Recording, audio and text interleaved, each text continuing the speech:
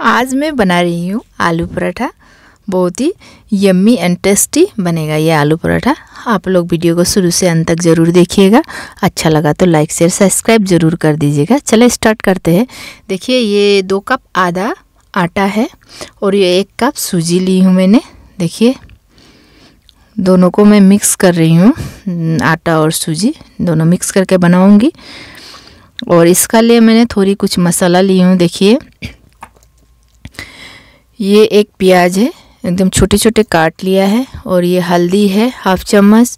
ये हरा मिर्चा है दो और ये नमक स्वाद अनुसार ये लहसुन, दो तीन लहसुन चॉप किया है। ये है मान धनिया ये है आमचूर पाउडर, देखिए।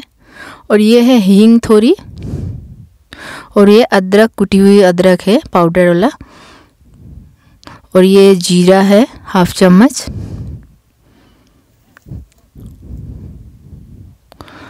और साथ में मैंने ली हूँ थोड़ी चाट मसाला।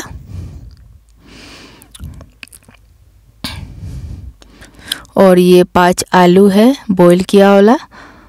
और अब मैं, देखिए रेडी करती हूँ। आलू को मैं कद्दूकस करूँगी। बढ़िया से कद्दूकस करने से ये पूरा फाइन मिही बन जाएगा।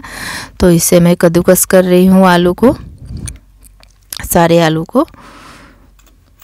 देखिए, इस तरीक़े से कर रही हूँ।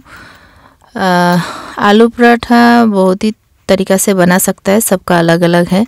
तो इसे भर के भी, मसाला भर के भी, आलू का मसाला भर के भी बना सकता है। मैं आलू को एक साथ आटा के साथ गूँथूँगी, उसका बाद इसे बनाऊँगी। ये भी बहुत अच्छा होता है। खाने में। तो मैं इसी तरीके से आलू को भी आटे में गूँथ रही हूँ पहले। तो इस तरीके से बनाऊँगी मैं आज आलू पराठा। अच्छे से आलू को मैं मिला रही हूँ पहले आटे में। अच्छे से मैंने आलू को मिला लिया है। अब इसमें मैं रिफाइन ऑयल, देखिए एक चम्मच डाल रही हूँ। इसे भी अच्छे से मैं आटे में मिला मिला दूँगी। हम्म, देखिए अच्छे से मैं आटे में इसे भी मिला रही हूँ। अब मैं इसमें सारे मसाला ऐड करूँगी जो जो मैंने रेडी करके रखी थी। तो इसे मैं इसमें मिलाकर अच्छे से एक सॉफ्ट डो बनाऊँगी बढ़िया से गूँथ के। देखिए मैंने सारा मसाले जो रेडी करके रखी थी, इसे मैंने इसमें डाल दिया है आटे में। अब इससे मैं एक बढ़िया सा डो बनाऊँगी अच्छे से गूद के। और अभी सारे चीज़ को मैं मिला रही हूँ। और मेरा पास रात का बची हुई दाल थी तो तो दाल भी मैं दो चम्मच दाल भी डाल रही हूँ इसमें, दो तीन चम्मच। इसे भी एक साथ इसे मैं मिला लूँगी। अच्छा होता है स्वाद अच्छा लगता है इसका। तो मैंने इसीलिए मिला रही हूँ। अब इसे मैं थोड़े थोड़े पानी डाल के इससे एक मैं अच्छा डो बनाऊँगी। पानी, हल्का गर्म पानी है ये। बढ़िया से एक डो बनाऊँगी। देखिए, बढ़िया एक डो बना लिया है मैंने। अब इसमें मैं थोड़ी ऑयल लगाऊँगी। हाथ में लेके मैं थोड़ी ऑयल इसमें लगा के इसे एक बार फिर गूँथ लूँगी।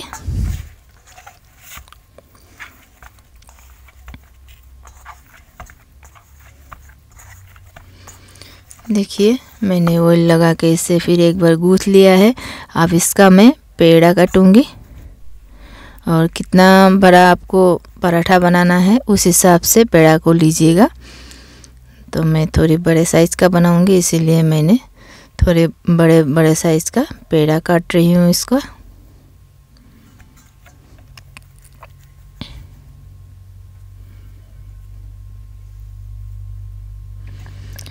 देखिए, मैंने पेड़ा काट लिया है। देखिए थोड़ा बड़ा है तो आप लोग को जितना बड़ा पराठा चाहिए, उस हिसाब से आप पेड़ा को काटिएगा। देखिए, मैंने सारा रेडी कर लिया है और सूखा आटा थोड़ा छिटक दिया है उसमें। अब मैं इसे अच्छे से बेलूँगी देखिए, बढ़िया से बेलने से एक भी नहीं फटेगा, बढ़िया से ये बेल जाएगा। देखिए, और इससे मैं ज़्यादा मोटा भी नहीं और ज़्यादा पतला भी नहीं। उस हिसाब से मैं इसे बेलूँगी।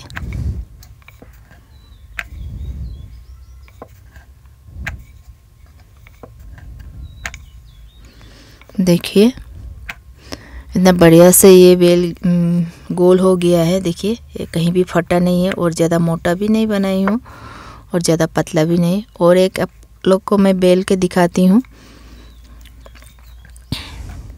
थोड़ी सूखा आटा लगा लूँगी और बेल के दिखाती हूँ अच्छे से। थोड़ी हल्के हाथ से इसे बेलना चाहिए। और बढ़िया से गोल होता है, बिल्कुल नहीं फटता है ये। और खाने में भी बहुत ही टेस्टी होता है, सॉफ्ट होता है और सारा मसाले, आलू सभी का स्वाद इसमें बढ़िया से आता है। देखिए, मैंने ज़्यादा पतला भी नहीं, ज़्यादा मोटा भी नहीं, एकदम ठीक हिसाब का बेली हूँ। तो अब चले बनाते हैं। बनाने के लिए मैंने तावा गरम कर लिया है और अभी इससे मैं डाल रही हूँ तावे में रोटी को। अभी से मैं तीन चार से, तीन चार सेकेंड इसे सेकने देती हूँ, उसका बाद इसे मैं पलटूँगी।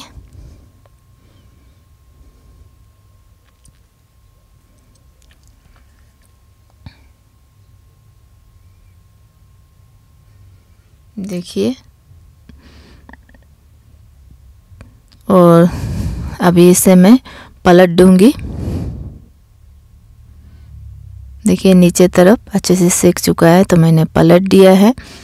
अब इसमें मैं थोड़ी ऑयल लगाऊँगी। आप लोग चाहो तो रिफाइन ऑयल लगा सकते हो या बटर लगा सकते हो। आराम से जो आप लोग को पसंद है, घी भी लगा सकते हो, लगा के इसे अच्छे से सेक सकते हो पराठे को। तो मैंने इसमें ऑयल लगाई हूँ रिफाइन ऑयल तो इसे मैं अच्छे से सेक लूँगी, दो तरफ़ ही हल्का ब्राउन होने तक सेकूँगी।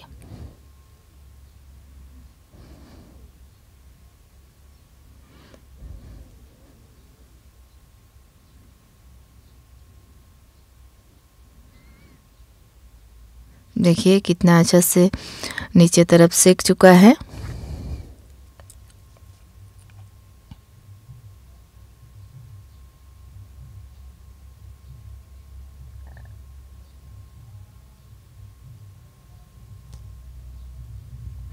कितना बढ़िया कलर आया है, देखिए।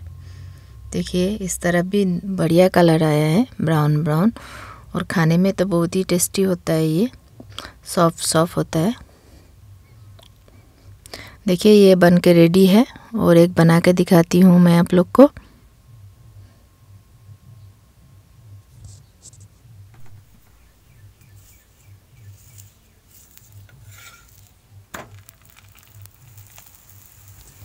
देखिए, कितना बढ़िया से बन गया है और सारा मैं रोटी पराठा इसी तरीक़ा से बना लूँगी, सेक लूँगी। और आप लोग इसे दही का साथ, चटनी का साथ बढ़िया से खा सकते हो, बहुत ही स्वादिष्ट होता है। और आलू पराठा बनाने का सभी का अलग अलग तरीका है। सब अपना अपना तरीका से बनाता है अलग अलग तरीका है बनाने का। तो मैंने इसे इस तरीक़ा से बनाई हूँ। आप लोग को मेरा ये सारा रेसिपी देखने का बाद कैसा लगा मेरा आलू पराठा, आप लोग कमेंट्स करके ज़रूर बताइएगा।